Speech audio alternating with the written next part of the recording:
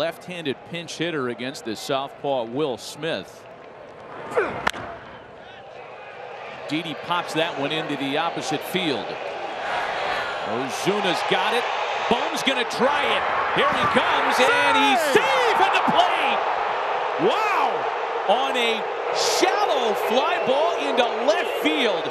They roll the dice with Ozuna's arm. And Bohm is able to score on a bang-bang play at the plate. Very aggressive base running here by Bohm and the Phillies. Shallow left field. The throw.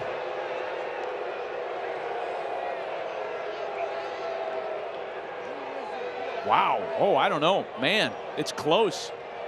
It might have looked like Bohm's foot came up. We'll get some definitive looks at it here. Oh, boy. Does the toe just grab a little bit of the plate before the glove gets to him?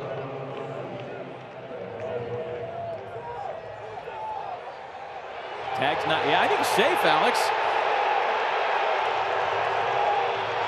Well, Lance Barrett had a pretty good view. He's right there. I, I think they made the right call.